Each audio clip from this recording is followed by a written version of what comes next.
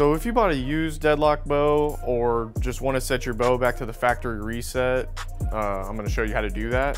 We're going to take our 330 seconds wrench here and we're going to make some quick adjustments. So first step is we're going to go to our lock screw and we're going to unlock the deadlock.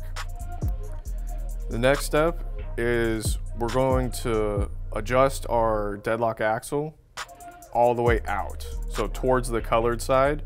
Um, if you have an older deadlock bow, it'll be red, but on these new 2024s, they're gonna be gray or silver. So we're gonna go do that.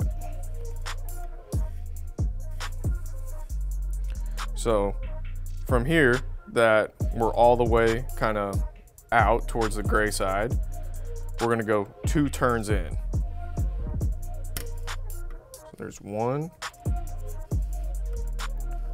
and two and you can kind of see that the axle housing is just under flush of the, uh, of the housing. So from here, we're just gonna lock it down, do the same to the top end, and take it to paper.